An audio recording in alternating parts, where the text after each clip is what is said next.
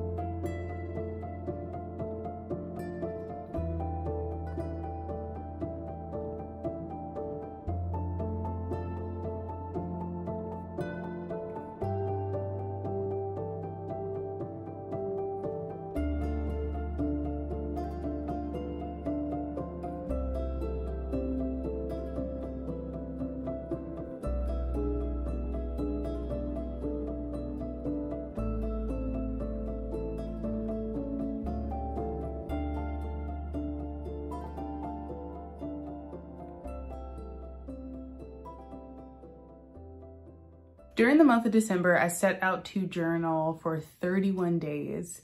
Uh, I created prompts that were inspired by the holiday season and had themes about gratitude and reflection and all that good stuff that we like to journal about here. It was fun and challenging to honor this commitment that I made to myself and it was awesome to be able to share it with you on this channel. And on one of those videos that I posted, a subscriber asked me, how do I managed to make time to journal daily. And to be honest, I didn't journal every day. I did respond to all 31 prompts, but I didn't journal every day because of time constraints with my job or just days where I just didn't feel like it. It's tired and didn't have any motivation to create. But if I did end up missing a day or two, I made sure that on the day where I had time to journal that I did all of them in one sitting. So what that meant was that I had the luxury to sit in my craft room for hours and hours at a time to get caught up. When I started to consider what advice I would give to others about making time to craft,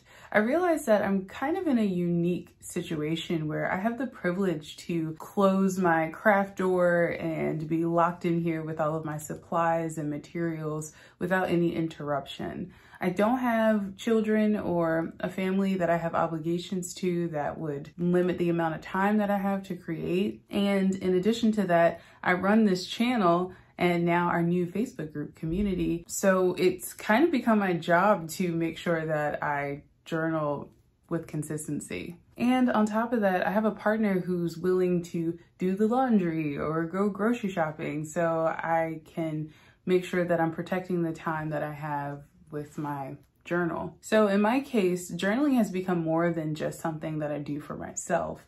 It's an obligation now that I have to prioritize. So in sharing that, I'm not saying that in order to be consistent with junk journaling that you need to make a job of it, but what I do think is helpful is prioritizing living a creative life by doing the things that bring you joy. And I believe that that starts with your mindset. I mentioned this before, but it's important to begin any project with a purpose in mind. It's hard to finish or continue something if you don't know why you're doing it in the first place. And your motivations don't have to be grand. It could literally just be that I want to journal consistency because it makes me happy.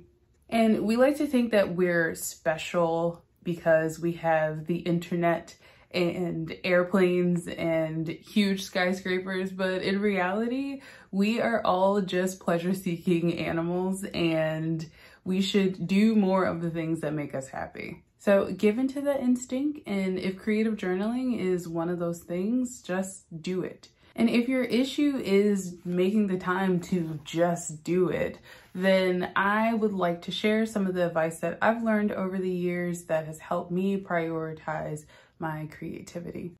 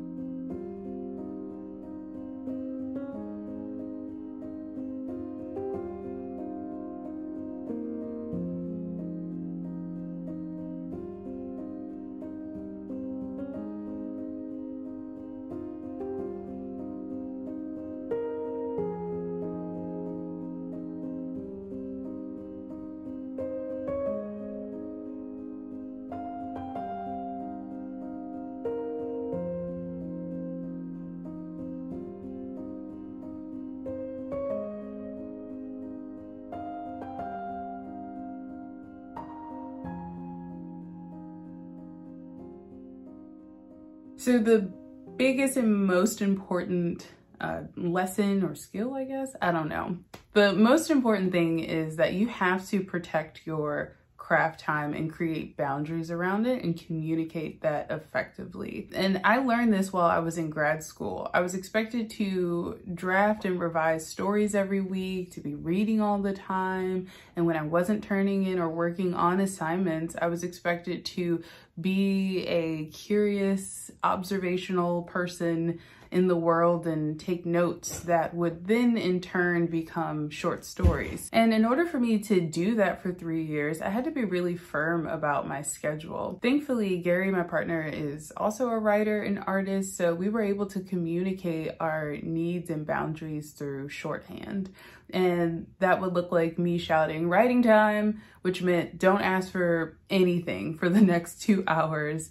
Um, and then in turn for him, if I heard heavy metal playing in the drawing room, that meant that he needed his space to get absorbed in whatever he was working on. And we both knew that if any of us dared to interrupt that very sacred creative time, that they deserved any kind of tongue lashing that would follow, unless it was an emergency, of course. And you may not be in a situation where your family intuitively understands the importance of this time for you. So it's on you to communicate that effectively, loudly, as consistently as possible that this time is your time and you need it to be happy and whole or whatever. And if you think about it, I bet your family doesn't call you every five minutes when you're at work. They should give you as much respect as they give your employer when you're on the clock.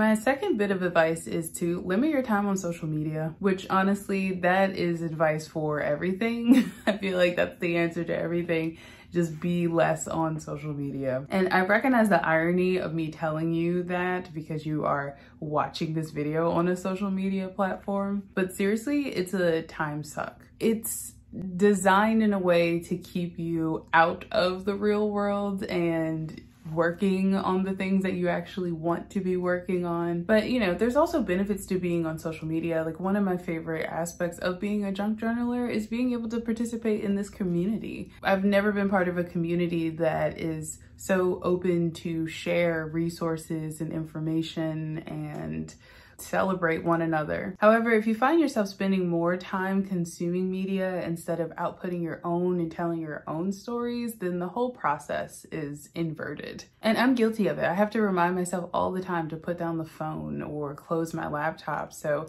I can have those quiet times to create. And right now I'm in one of those seasons where I'm trying to limit the amount of screen time I'm doing, which has made me think differently about the ways that I uh, get inspiration for my different projects and there will be more information on that soon. But basically what I'm trying to say is that if you open up your app and you look at your screen time, all of those hours are hours that you could have spent creating art.